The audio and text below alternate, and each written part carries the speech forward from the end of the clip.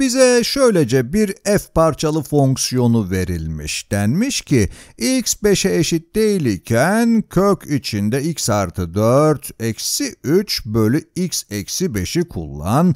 x 5'e eşit ikense c'yi kullan. Soru bize eğer bu f fonksiyonu x eşittir 5 noktasında sürekli bir fonksiyon ise c'nin değeri kaç olur diye soruyor. F'in x eşittir 5'te sürekli olduğunu biliyorsak bunun anlamı x 5'e giderken değil mi fx'in limitinin f5'e eşit olması demektir.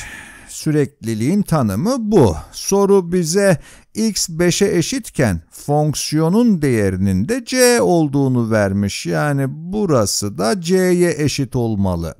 Yapmamız gereken fx'in x 5'e giderken limitini hesaplamak. Verilen ifadede 5'i yerine koyarsak pay 5 artı 4 9, 9'un karekökü 3 ve 3 eksi 3 de 0'a eşit olur. Payı 0 bulduk. Payda da ise 5 eksi 5 yani 0 var. Dolayısıyla elimizde 0 bölü 0 belirsizliği oluştu. İleride bu tür belirsizlikleri limit alarak nasıl çözebileceğimizi göreceğiz. Ee, bunu L'Hopital kuralı kullanarak da yapacağız. Bu soruyu ise biraz cebir kullanarak çözmeye çalışalım.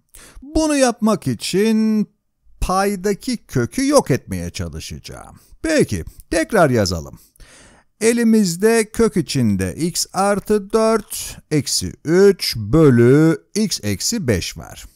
Bir kök ve eksi artı bir sayı gördüğümüzde kökten kurtulmak için bu kökü kendisiyle çarparız. Elimizde kök eksi 3 olduğundan bunu kök artı 3 ile çarparız değil mi? Bu durumda e, payı ve paydayı karekök x artı 4 artı 3 ile çarpıyoruz. Payı ve paydayı karekök x artı 4 artı 3 ile çarpıyoruz. Yani pay ile paydayı aynı sayıyla çarpıyoruz. Böylece sonucu değiştirmemiş olduk değil mi?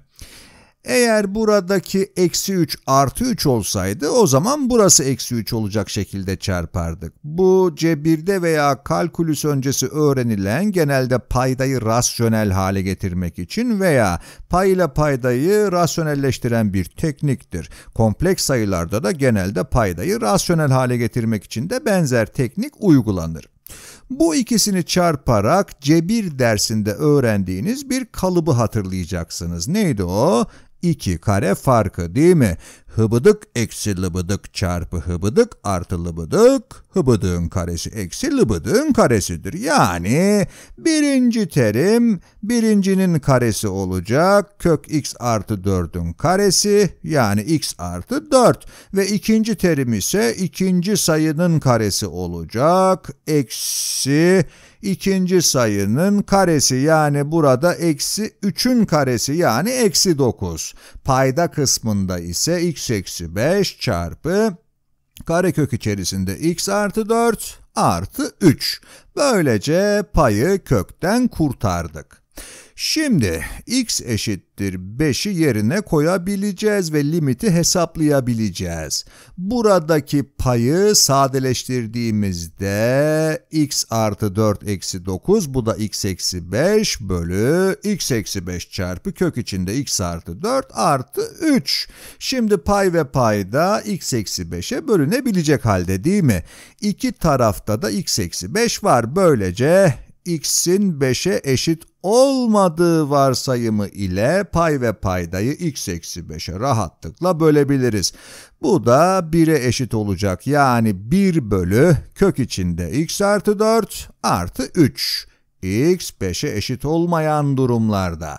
Fonksiyonun ilk bölümü zaten x 5'e eşit olmayan x'ler için koşuluna sahipti. Yani buradaki fonksiyon yerine sadeleşmiş halini koyabiliriz. Yani 1 bölü kök içinde x artı 4 artı 3. Şimdi bunun x 5'e giderkenki limitini aldığımızda x 5'e çok ama çok yaklaşacak fakat 5 olmayacak. Buradaki ifadeyi burada kullanacağız. Yani x 5'e giderkenki limit x 5'e giderken 1 bölü kök içinde x artı 4 artı 3'ün limitiyle aynı şey olacak.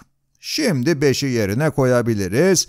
Bu da 1 bölü 5 artı 4 9, 9'un karekökü 3, 3 artı 3 6 yani c 1 bölü 6'ya eşit.